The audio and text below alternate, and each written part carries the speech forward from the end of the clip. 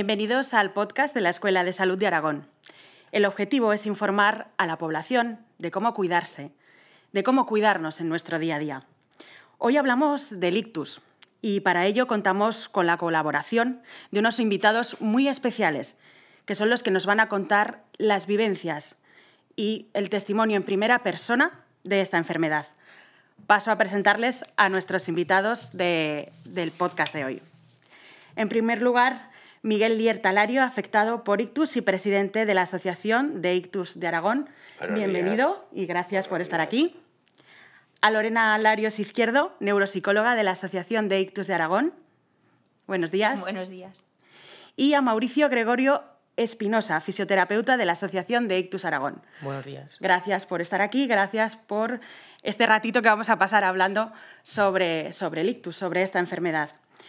Y me gustaría empezar primero de todo con Miguel, eh, porque quiero que nos cuentes, que cuentes a todas las personas que nos están oyendo que pueden haber pasado por esta enfermedad o tienen algún familiar, ¿cuáles fueron los primeros signos del ictus en tu caso? Eh, en mi caso fueron eh, la dificultad para poder moverme, ya estaba afectado, no podía ni con el brazo ni andaba, deambulaba al andar y eh, eso iba añadido a un fuerte dolor de cabeza, eh. distinto de lo habitual, no era he tenido alguna, alguna cefalea, era completamente distinto. Eso fue lo primero que notaste. Lo primero que noté. Y en general, ¿todos los pacientes experimentan estos síntomas? ¿Puede haber otros? ¿En qué, mm, qué cierto parecido puede haber con otros síntomas para que la persona que lo puede estar sufriendo sepa reconocerlo? Bueno, eh, hay unos, unos síntomas para, ver qué te está dando un ictus. Eh, ya he dicho, deambular, pérdida de media parte de fuerza en el... Eh, es justo media, la media parte. visión doble o pérdida de visión en un ojo o en los dos. dificultad para decir una frase, por ejemplo, hoy hace buen día y eh, sobre, eh, sobre todo lo del dolor de cabeza va asociado más a los ictus hemorrágicos. No todo el mundo que tiene el dolor de cabeza eh, va a sufrir un ictus. Y una vez que te das cuenta que te está pasando eso, que estás pasando por esos síntomas, tú, Miguel, ¿cuáles fueron los primeros pasos que diste? Mis primeros pasos fueron eh, acudir inmediatamente al hospital. Entonces, cuando una persona eh, siente estos síntomas, tiene que eh, acudir, ponerse en manos de un personal sanitario. Es lo, dirías que es lo, primordial y lo, fundamental, darse cuenta de esos, digamos, esos primeros problemas y acudir directamente al hospital. Existen eh, unos pasos, digamos, dentro de nuestro sistema sanitario para atender a los pacientes con sospecha de ictus? Es decir, hay un protocolo. Te lo pregunto a ti, Miguel, pero si queréis eh, nuestros eh, dos invitados intervenir para que la gente conozca si hay un protocolo establecido dentro de nuestro sistema de salud para cuando nos encontramos en esa situación, llegamos al centro, al centro de salud, a urgencias y detectan que puede ser un ictus, un ictus eh, ¿hay un protocolo a seguir? Sí, eh, está el código ictus eh, que ha evitado, o sea, lo que ha conseguido es que baje la morbilidad y la mortalidad en un 35%. Ya lo tenemos implantado en Aragón desde el año 2010 o por ahí. lo importante es decir, creo que estoy sufriendo un ictus y entonces se activa ya el código ictus. En, Aragón siempre hay eh, un, neurólogo de guardia, independientemente de que ibas en Zaragoza o en cualquier pueblecito eh, más pequeño de, Aragón. Y claro, es una situación muy complicada, muy difícil, todos los temas de salud lo son. El ictus es una de las cosas que puede, eh, en este caso, ser que si no se actúa a tiempo puede tener consecuencias, entiendo, más graves. Tú en ese momento en que ves que te está pasando, que sabes lo que es, eh, ¿cuáles fueron tus miedos? ¿Cuáles fueron, ¿Cuáles fueron tus inquietudes? Eh, en ese momento no tenía ningún miedo, porque me llevaron y a continuación ya me metieron a la... Entonces no había eh, las unidades de ictus, me, me, metieron en la UCI de polivalentes y yo ya no me acuerdo de nada hasta que no desperté. ¿Y posteriormente a eso? Posteriormente mi miedo era de que, de que cuando iba a volver a poder trabajar, si no iba a poder fastidiar la vida de mi familia. Esos eran los, los miedos más importantes que tenía. En la parte psicológica también es importante. Me gustaría, en este caso, como tenemos a Lorena con nosotros, que nos comentara también eh, esa esa parte psicológica que, afecta, que no es solo física, que hay una parte psicológica también con respecto a, a, esta pregunta, cuáles son los miedos, cuáles son las inquietudes de los pacientes, son comunes, no son comunes. Claro. A ver, la parte, la, bueno, lo que él comenta, lo que él ha narrado, lo ha explicado perfectamente porque muchos pacientes se sentirían identificados. Y sí que lo que a mí me ha llamado la atención, porque al final llevo 12 años trabajando con pacientes de ictus y al principio la gente, la mayoría, no sabían lo que les estaba pasando y ahora cada vez más la gente es consciente de lo que es un ictus, que a mí eso me parece fundamental. Porque claro, si tienes determinados síntomas y no sabes lo que es, pues claro, muchas veces entras en bloqueo como diciendo, madre mía, o te metes en la cama, ¿no? Mucha gente nos dice, es que nos metíamos a la cama porque, claro, no sabíamos lo que esto iba, lo típico, que me acuesto y a ver si así se me pasa. Y claro, luego ven que eso cada vez se va más acentuando y lo que le ha comentado, cuanto antes lo cojas, las secuelas luego van a ser mucho menores. Y eso es una realidad, es lo que nosotros vemos.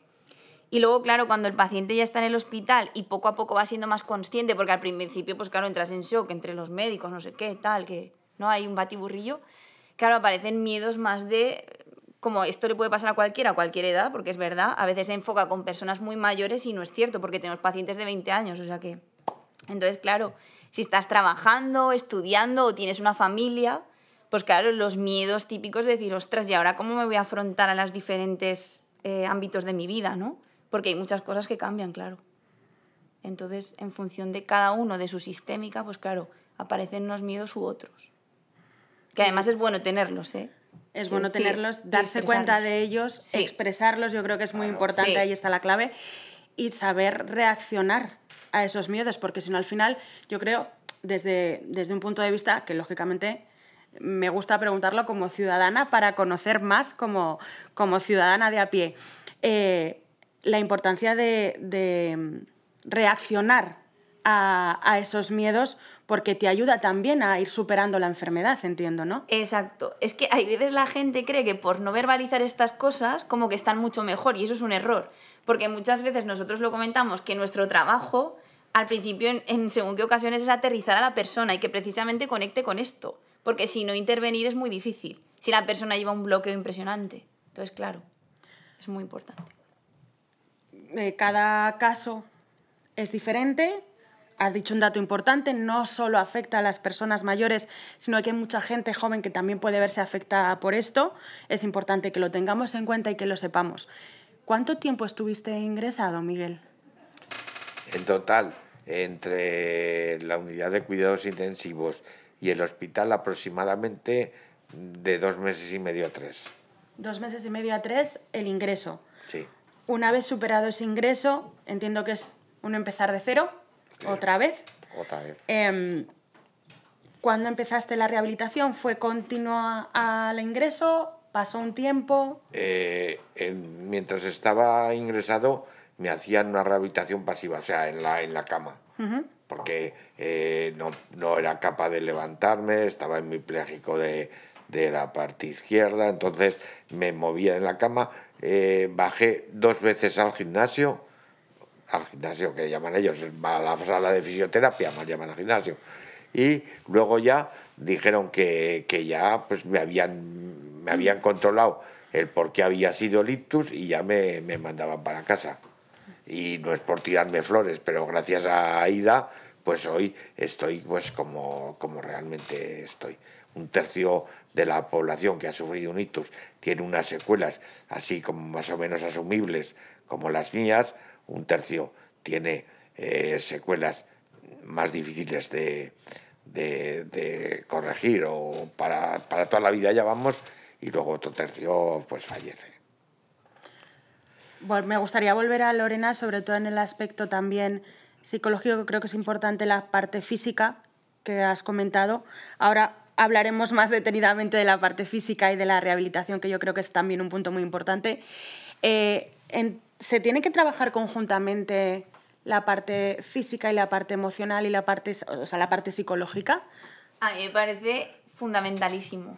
Y de hecho muchas veces, o sea, em, hablándolo así, o con los fisios o médicos rehabilitadores, ¿no? Se plantean en muchas ocasiones porque el paciente no avanza y es que el paciente si realmente no está conectado a nivel cognitivo, a nivel emocional y a nivel cuerpo, por mucho que trabajes la parte física, si lo otro no está, no va a haber resultados. Porque lo que él ha comentado, que mientras estaba hospitalizado, claro, le hicieron una rehabilitación pasiva. El paciente no está tomando un rol activo, entonces no hay una integración plena. Eso se consigue conforme las tres variantes que te he comentado van al unísono, van en la misma dirección. Porque si alguna cojea, pues, pues obviamente los resultados no son los mismos. Y esto a veces cuesta, porque hay personas que están físicamente mal, entonces van como a lo físico y ya está. Ya, pero es que si no trabajas lo otro, no podemos ir en la dirección, los profesionales no podemos ir en la dirección que queremos para conseguir determinados resultados. Entonces es fundamental. Eh, es que lo físico realmente es lo que se ve, pero todo cognitivo eh, tiene que ser unos profesionales, pues que en mi caso cuando estuve ingresado no o no había o no acudieron para mí, solo veían la parte de que no podían moverme. Quizá eso es lo primero que, como comentan Lorena y Miguel, lo primero que se atiende porque es lo más visible. visible.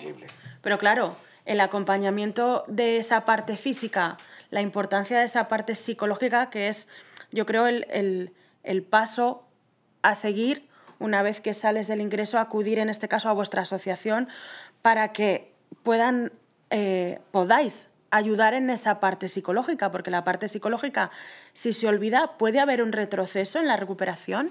Claro, es que muchas veces cuando salen del hospital la persona se siente en muchas ocasiones como abandonada, perdida, ¿no? Como una sensación de abandono, desarraigo porque dices, jo, ¿y ahora qué hago con mi vida? Porque claro, yo ya no funciono igual que antes. Entonces, a ti no te han enseñado a funcionar de determinada manera. Entonces, según la actitud que tengas tú para afrontar la vida y las cosas que te pasan, pues como flaquees un poquito, pues a lo mejor no te manejas muy bien. Entonces, claro, yo creo que nuestra labor es muy importante por eso, como esa acogida como un entorno seguro. Yo creo que las personas lo ven como un sitio seguro, en el que esos primeros pasos, por lo menos alguien que te guíe, porque tú estás perdido. Hmm. Entonces... Eh, es muy fácil de entender. Si tú, por ejemplo, trabajabas y por la tarde te ibas a jugar a, las cartas con los amigos, por poner un ejemplo, es algo que ya no puedes hacer. Claro, cambia. Entonces hay que volver a socializarte otra vez de otra manera. Cambian las pequeñas cosas. Las pequeñas cosas. Y como lo que dice Miguel, una partida de cartas ya no te la puedes echar. O si eres pescador, o pues eso. Y, al principio, pues la familia y los amigos, pues vienen todos los días a verte. Pero luego va pasando el tiempo y se pierde todo. Tienes que volver a hacerte a toda una nueva vida. Y eso es lo que está consiguiendo, pues, eh, Lorena primero y hay mucha más gente, no solo vamos a hablar de nuestro, en nuestro caso es que tenemos dos neuropsicólogas, psicólogas, que eh, les, marcan como y les dan pautas para que vuelvan a, hacer su vida eh, de otra manera. Es que a veces piensa uno que el ictus es algo como súper, cosas súper complicadas, dejar de hacer cosas súper complicadas, pero es que a la gente le cuesta hasta llevar una conversación. Entonces, hay, hay personas que tú aparentemente, porque como siempre nos fijamos en lo visible, no en lo físico, pues aparentemente dices, oye, está genial, que a, los pacientes les cabrea mucho que le digan que está genial, porque claro, se ve, pero igual esa persona no te puede seguir una conversación, o le dices una orden y no te entiende. Cosas súper... o ver eh, un capítulo de una serie, cosas sí, porque es lo que ha comentado Miguel antes, que no solamente es a nivel físico una paralización de un lado del cuerpo o, un movimiento que ya no puedes hacer, sino que lo ha comentado y yo me he quedado también con eso que es, tú puedes estar en una conversación de tú a tú con alguien y de repente si le está dando un ictus, esa persona no empieza, o sea, como que la conexión, igual, igual estoy equivocada y me podéis decir, igual no es así, pero como que la conexión mente-habla, eh, cerebro y habla, se paraliza. y entonces da, da lugar a frases inconexas que, que son uno de los síntomas que pueden ser delictus. Entonces, claro, cuando estamos hoy, eh, pues eso, profundizando y conociendo un poquito más esto, Por eso me parece tan necesaria la parte también de unir lo físico con lo psicológico, porque tú puedes recuperar lo físico, pero recuperar esa parte nuevamente de habla, de, de conexión entre lo que quieres decir y lo que dices, porque creo que esa conexión es. es uno de los síntomas del, del Sí, sí, sí. ictus y rompe, ¿no? Sí. Y la angustia que te genera que muchas veces no te entiendan, ¿vale? Porque tú al final desempeñas un rol y es como que los roles de tu vida desaparecen y ahora es volver a construirlos de una manera que, claro, tú no te desenvuelves igual. Entonces, es complicado. Es difícil. Sí. Sí, tendemos, yo creo que por resumir un poco este punto, me parece importante recalcar la necesidad de concienciar a la población en que son en las pequeñas cosas donde nos tenemos que dar cuenta que podemos estar sufriendo un ictus y son en las pequeñas cosas, paso a paso y poquito a poquito, donde tenemos que poner luego solución, ¿no? Empezar como... Sí, sí, sí. Me dice Miguel así, yo sí me dice Miguel así, yo ya contenta. Bueno, bueno, eh, eh, se nos ha olvidado decir un momento que es, eh, el ictus es algo que aparece bruscamente, de repente. O sea, eh, porque si, si pensamos que, que hemos perdido fuerza, es en el momento. O sea, porque a lo mejor tenemos un dolor muscular o cualquier cosa, pensamos, no. Ictus es un trastorno brusco de la circulación sanguínea del cerebro que ocurre de repente. Y para eso hay que darse cuenta de lo que Exacto. pasa y, poquito a poquito... acudir muy rápidamente al hospital para minimizar las secuelas. Cuanto antes nos pongan en tratamiento, las secuelas van a ser menores. Y poquito a poquito trabajar. Y después trabajar mucho, Mucho poquito, tiempo, poquito, mucho tiempo, poquito a Poquito poquito. a poquito, Pero vale. mucho tiempo.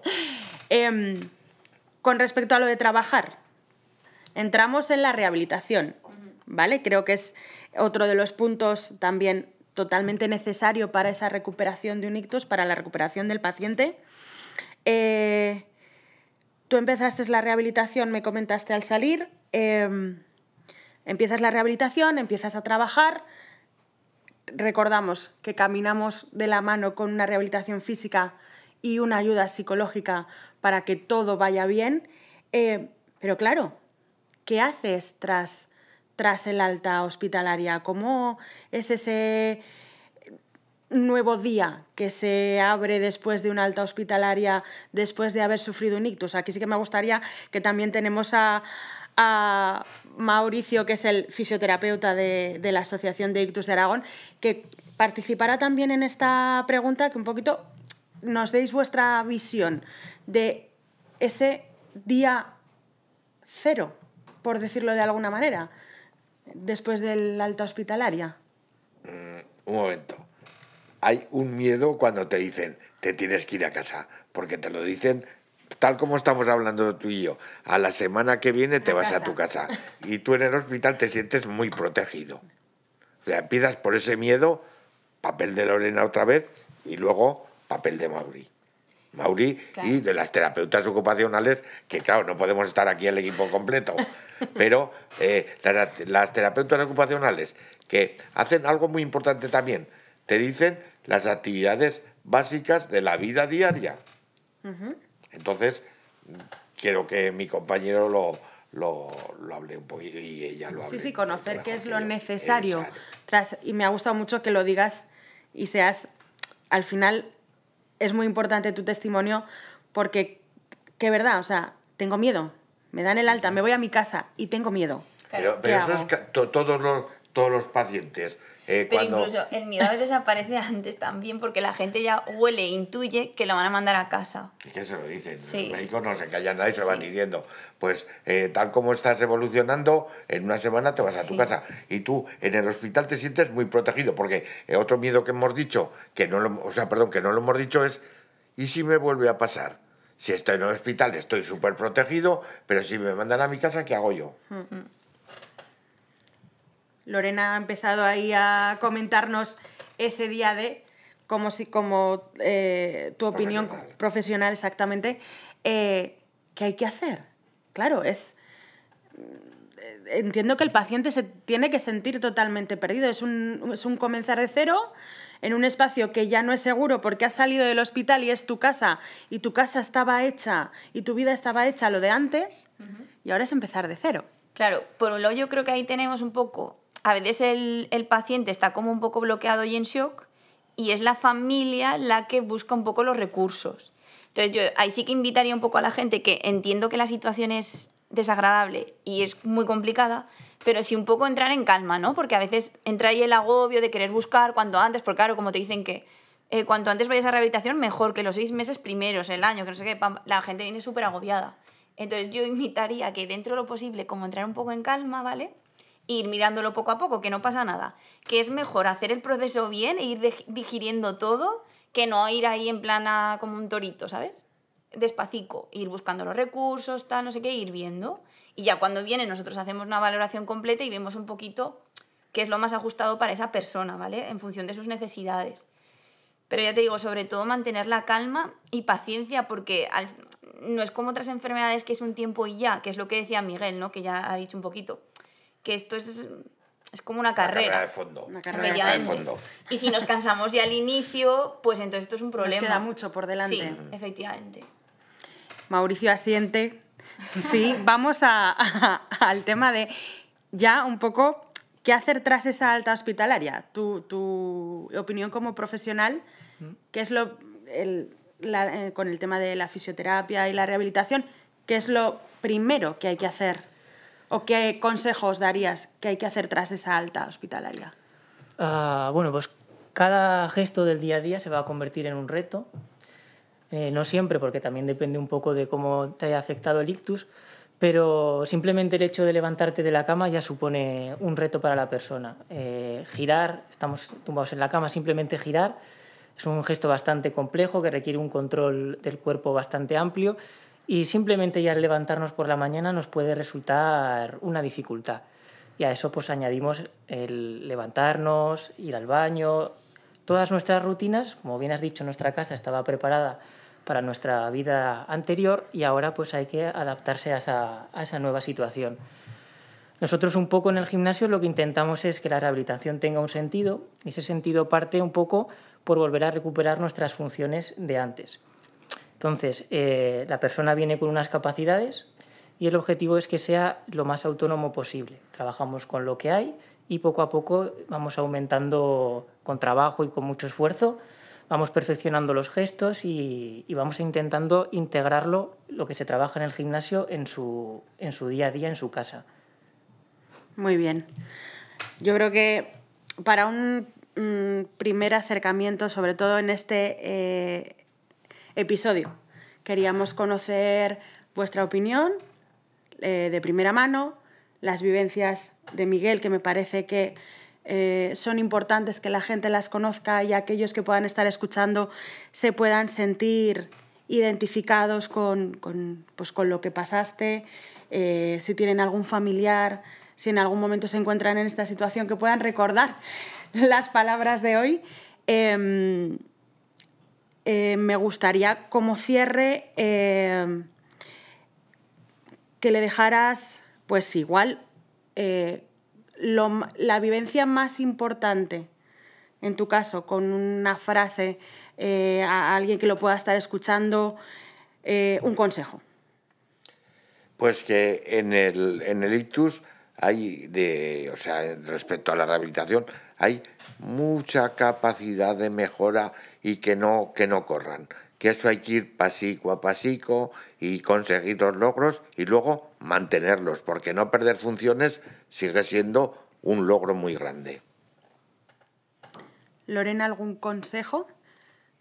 Pues sobre todo un poco lo que ya he comentado, ¿vale? Mucha calma, paciencia, que yo sé que es muy complicado, pero hay que intentarlo.